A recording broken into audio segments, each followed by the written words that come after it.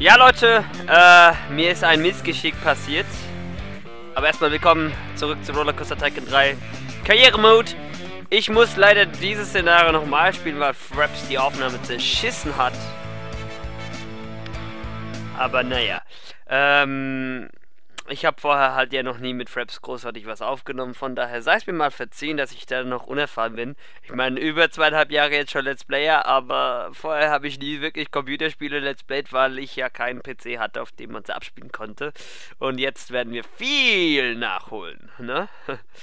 Gut, wie dem auch sei, wir warten kurz auf das Voraktivieren und sowas. Und dann geht's los. Das ist ein einfaches Szenario, was jetzt noch kommt. Äh, richtig schwer wird es eigentlich erst ab dem fünften oder sechsten, da sagen wir mal, wird äh, der Schwierigkeitsgrad von leicht auf fortgeschritten angehoben. Und so circa ab dem zehnten haben wir dann Profi. Also das ist eigentlich eine gute Einteilung, so alle fünf bis sechs Szenarien wird es schwieriger. Mehr gibt es auch beim Original Rollercoaster Tycoon 3 nicht. Danach äh, springen wir ja, wie ich sagte, direkt zu der Soaked und dann zur White-Kampagne die ich noch nie gespielt habe. Da habe ich mich immer nur im Sandkastenmodus ausgetobt. Aber der kommt ja immer wieder so im Wechsel, das habe ich ja gesagt. So, also gut. Bitte einmal schnell Pause drücken. Ich will mich etwas gucken. Wir müssen nämlich als Unternehmer das Darlehen zurückzahlen. Daran könnten wir etwas zerbrechen, wenn wir zu viel ausgeben für eine Achterbahn. Aber nichtsdestotrotz, wir gucken uns schon mal gleich die Teiken-Bedingungen an weil darauf legen wir nämlich jetzt aus, wie wir die erste Bahn bauen wollen. Wir brauchen einen Mindesterregungswert von 4 auf 3 Bahnen und eine Mindestbahnlänge pro Bahn von 370 Meter, auch drei Bahnen, die diesen Wert erreichen. Monatliche Bahneinnahmen, dazu zählen auch die Stände, aber auch solche Attraktionen wie diesen äh, Twister hier. Äh, nee, das heißt nicht Twister gerade. Also auf jeden Fall heißt es hier Dynamite-Gefahr. Und ja, beim Anfänger haben wir einen Mindesterregwert von 3 auf 2 Bahnen und 350 Meter auf 2 Bahnen. Ich denke, wenn wir uns schon mal das hier als Ziel setzen, müsste es leichter sein. So, nächster Punkt, Darlehen zurückzahlen. Das ist etwas, was ich überhaupt nicht mag. Deswegen versuchen wir erstmal ohne Darlehen auszukommen. Dann kann ich nämlich als Unternehmer einmal Darlehen dazugeben und dann wieder abtreten. So. Bevor wir jetzt durchstarten, werde ich erstmal ein paar Steakhäuser und andere Getränkestände platzieren, weil wir auch diesen Einnahmenwert brauchen, denn äh, auf den dürfen wir leider nicht verzichten. Machen wir erstmal mittleren Lack. Ach so, Stände dieser Art synchronisieren hätte ich vielleicht nochmal vorher anwählen sollen. So, als nächstes sollten wir vielleicht die anderen Attraktionen hier eröffnen. Dynamite-Gefahr geben wir nicht unter 3,50 weg. Diese Achterbahn hier hat einen stolzen Preis, aber den lassen wir erstmal so. So, weiter hier unten war auch noch eine Attraktion. Das ist mehr wie so eine Art Kinderkarussell. Da können wir sagen, 220 ist in Ordnung. Gab es sonst noch irgendeine Attraktion bisher? Ich glaube nicht. Nee, das war alles nur Szenerie. Okay. Wir haben also keine Getränke, keine Essstände, keine Souvenirstände. Schauen wir uns mal kurz die Marktforschung an. Irgendwo hängt hier gerade meine Maus fest schon wieder. So. Machen wir die Achterbahn und die Kinderbahnen auf kleine Priorität. Die Achterbahn auf so, ja, lassen wir die mittlere Priorität. Aufregende Fahrten ein bisschen darunter. Wasserbahn brauche ich nicht. Sanfte Fahrten, Transportbahnen kann ich alles verzichten. Läden machen wir voll. Szenerie brauche ich nicht. Wege nicht. Showelemente nicht. Und Wasserrutschen auch nicht. Lassen wir die Forschung erstmal so, wie sie ist. So. Nächster Punkt. Wir brauchen natürlich Personal. Machen wir erstmal drei Mechaniker, drei Reinigungskräfte. Das sollte den Anfang eigentlich reichen. Weg mit euch. Dann kümmern wir uns erstmal um die Lemonade. Ice Cold. Brauchen wir ein paar davon. Damit die Leute ordentlich einbechern können. So, die einfache Limonade kriegt gar nichts. Die mittlere Eiswürfel große Zitrone dazu und die ganz große kriegt alles, also die Gießenlimonade. Haben wir... ich muss wieder anfangen zu das gibt es nicht. Jawohl, wir haben auch irgendwelche Souvenirstände, die können wir so lassen vom Preis her.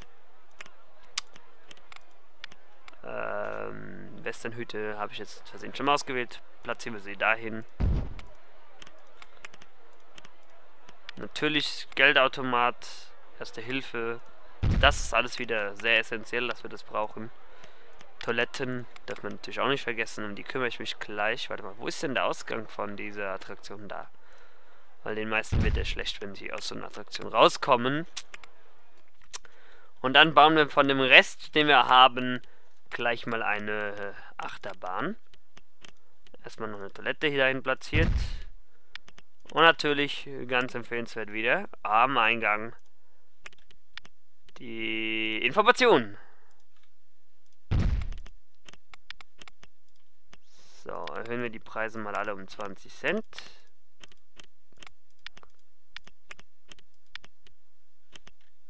Okay. So. Ähm, wer nicht so sicher ist mit Achterbahn bauen, nimmt am besten die Minenachterbahn oder die rotierende wilde Maus, eine der vorgefertigten Designs. Die empfüllen nämlich alles, was ihr braucht. Ich versuche mich hier trotzdem am Achterbahn bauen. Wenn ich halt Mist gebaut habe, müssen wir das später über die Stände versuchen wieder reinzukriegen, das Geld. So, dann schauen wir mal. Ich hatte das ja schon mal gemacht. Ich weiß nicht, ob ich es wieder hinkriege, die wilde Maus-Achterbahn, die ich da verwendet habe, so nachzubauen. Deswegen experimentieren wir jetzt hier ein bisschen herum. Ähm, eine Öffnung. Warum ist es gerade so hell, ey? Ich sehe gerade gar nichts. Ich glaube, ich habe bei den Optionen irgendeinen Mist gebaut. Wartet mal. Ich muss mal kurz bei den Werkseinstellungen hier was gucken. Das ist ja übel. Man sieht ja gar nichts. Glanz, geh mal weg. Das war etwas zu hell eingestellt. Ah, jetzt ist das schon besser. So, halt, ich wollte nicht in den Boden reinhauen. Jetzt muss ich natürlich aufpassen, dass ich nicht äh, die ganze Zeit äh, mir solche Fehler erlaube. Mit dem, äh, ich habe mich verbaut und muss was wieder löschen. Weil wir wollten ja, wie gesagt, ohne Darlehen erstmal auskommen. So.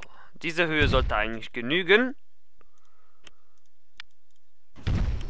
Und wie es sich für eine wilde Maus gehört, halt machen wir erstmal einen Dreh im Schalten. Gibt es natürlich immer schön diese kleinen steilen Kurven wir auch hier nachbauen.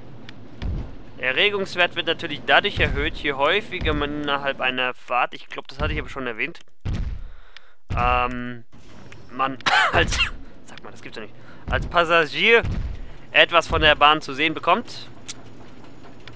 Also das heißt, je häufiger ihr so Schreckenteile baut, mit Kurven und so weiter. Nein! Jetzt habe ich da runtergebaut, weil ich erklären wollte. Shit. Na gut, jetzt kann ich es auch ausnutzen. Also je häufiger die Leute irgendwas von eurer Achterbahn sehen während der Fahrt, desto höher ist die Erregung.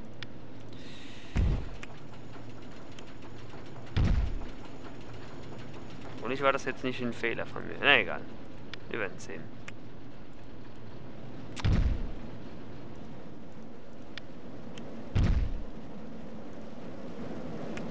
Na, kommt aber drüber, oder? Gerade so. Oh, für die kleine übergeneigte Kurve ist es etwas zu... Naja, egal.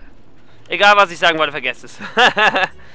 ich habe wieder Mist gebaut. Wieder mal typisch Game Kirby. So.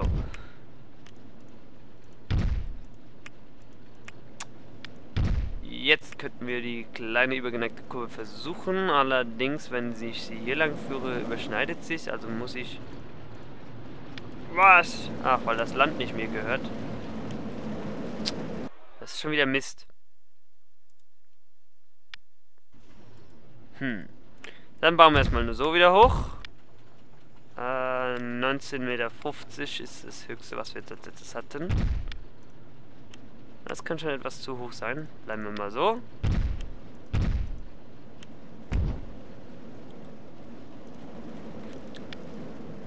Ich will mal eine kleine übergeneigte Kurve bauen.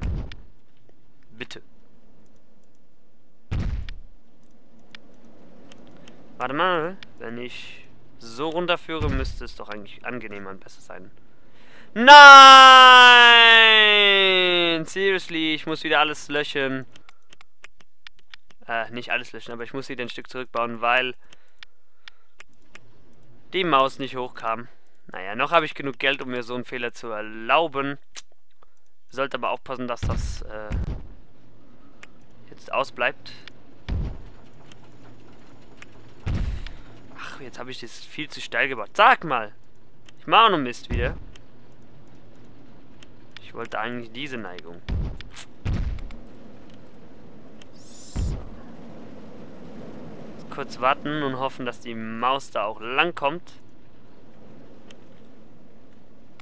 Fahr da bitte hoch. Yes! Jetzt hat die Kurve geschafft. Hey! Stop it. Okay, ich kann sie doch nicht hier reinbauen. Mal, wie hoch ist sie? Ich sehe das nicht mehr. 1721, das könnte zu hoch sein. Ich müsste jetzt mal warten, ob die Maus diese wilde Kurve hier schafft. Die wilde Maus die wilde Kurve schafft. Das macht natürlich Sinn. Warte. Kommt hier rum. Äh, nein, nicht. Schafft sie nicht. Ach, schade. Okay, dann machen wir halt was anderes. Bauen wir noch etwas steiler. Nur ein kleines bisschen.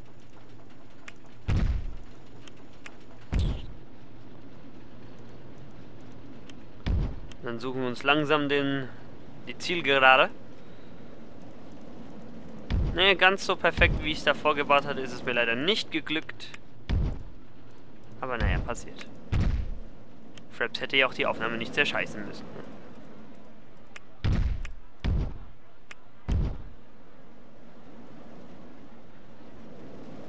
Aber gut, wir kommen wenigstens auch so ins Ziel. Darum ging es mir. Eine kleine Blockbremse. Blockbremse. Jetzt bauen wir von hinten, damit ich die Station noch etwas verlängern kann. Halt, warte mal. Hier eine Kette bitte. Um auf Nummer sicher zu gehen, dass unsere Maus hier auch durchfährt. Hm.